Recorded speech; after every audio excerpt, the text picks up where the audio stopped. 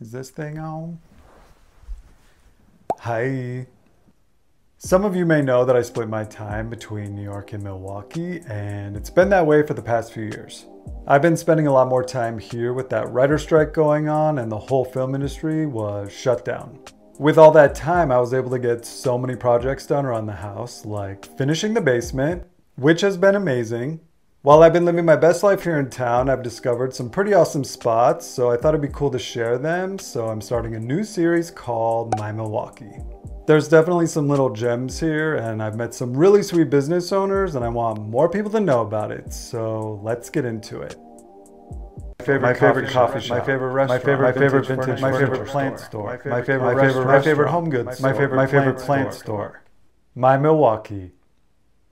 Okay, I just pulled up. I'm about to go meet with Eric, who owns one of my favorite vintage stores here in town called BC Modern. It's a vintage furniture store. Ben and I have bought so much stuff from there because Eric is a literal treasure hunter. He's got a cool store and a really cool van, and luckily enough, he's agreed to sit down and answer some of my questions. BC Modern is open once a month, and it is a literal event every time he opens his doors to the public. He spends the rest of his time sourcing all the goods, which is always changing from month to month. So yeah, with all that said, let's go meet Eric. Q&A. How long have you lived in Milwaukee? I have lived in Milwaukee my entire life, born and raised. What made you want to start BC Modern?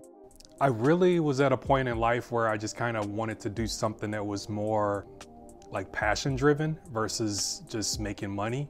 And so at that point, when I wanted to start BC Modern or decided to start BC Modern, it was literally, I was just done buying and selling any and everything to make money. I just wanted to fill a store full of stuff that I personally like and hope that I could attract enough people that would actually like it too. That's really what, what made me start it. It was just the, I was just over buying and selling anything for profit. I wanted to just focus on the things that I liked and hope that I could make a living by doing that. Best thing about being a business owner? I'm, I'm such a, a, doer. I don't like to overthink things. So it's like if I come up with an idea, I'll put it out there and see what happens. So just the, the ability to take something from A to Z really fast by myself is probably the best thing to me. Any find that got you super excited? I think my most exciting find is something that I really haven't even enjoyed that much as of yet because it's still being restored, but I found a, a 75 uh, Jaguar XJ6C, which is, I think there were only like less than 7,000 of these cars made and I was at a home to buy the entire estate. And the brother says to the sister, Oh, what are we gonna do with the car? I'm like, What car? And I go to the garage and I like my jaw just dropped. Uh, I've had a ton of classic cars over the years. I've sold a lot of classic cars, but uh, this was one that when I saw it, I'm like, yeah, this is, I gotta keep it. So that's right now, that's probably ranked up there pretty high. What design era is your favorite? Oh, of course. Mid-century is going to be what inspires me. When I first started, I, I sold any and everything. And in that time period, Victorian Eastlake was always so popular. And that's what I would get good money for. But this is what I was drawn to. And so when it came time to, you know, transition from just, you know, doing things to make a living, to you know finding something that actually became more of a passion and was enjoyable to go to work every day hands down i knew mid-century modern was going to be the direction that i was going to go because i was literally just drawn to it. But i couldn't you know 20 years ago this stuff was just they were just giving it away because nobody wanted it. Everybody wanted victorian and eastlake um, but it was always it's always been my style. And even when i think back to like my my dad's house or my grandma's house this is the style that they had in their home and it was all around me but i was a little kid and i wasn't paying enough attention to it then but i, I think the influence was like planted you know way back then so it's, it's cool to see that now i can you know fill a space full of the things that actually i grew up with basically and you know, it's, it's, it's how I make my living. So it's pretty awesome. Any fun DIY projects going on at home? Yeah, so the, the next project that we're gonna do at home is my office. Uh, previously, it was an office that was designed for my wife because she was working from home. We redesigned the office for her workspace. And now that she's with me, that space is no longer needed for her. So I've transitioned it back into my eBay space. That is the this next space that I want to renovate into. Um, you know, it, it needs more of of the store kind of vibe. It needs more of the mid-century vibe, less of the office, eh, you know, corporate industrial work vibe. You know, so I have my photo studio already there, but I need to build out all the other stuff around it to make it, uh, you know, fit into the rest of the house. So that's my next renovation. What do you love about this city?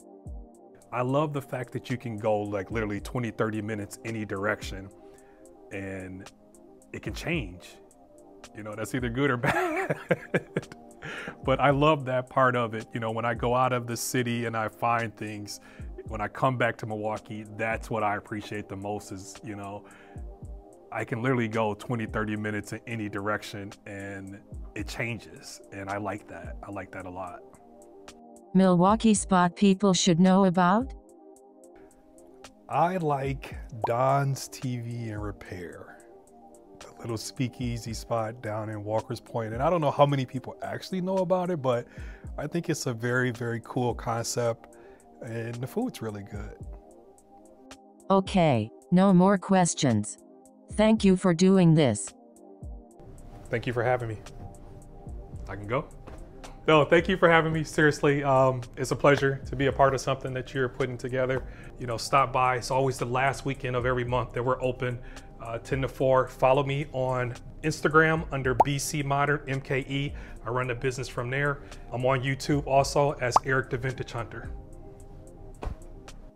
Have you ever had that thing where like somebody talks and it totally relaxes you?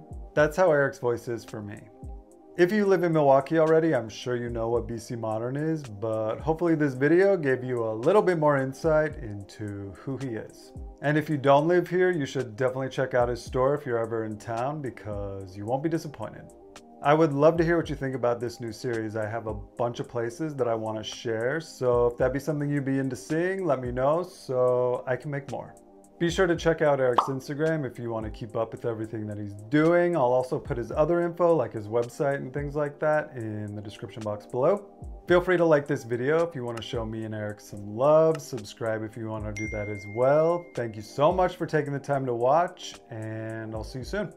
Bye. okay.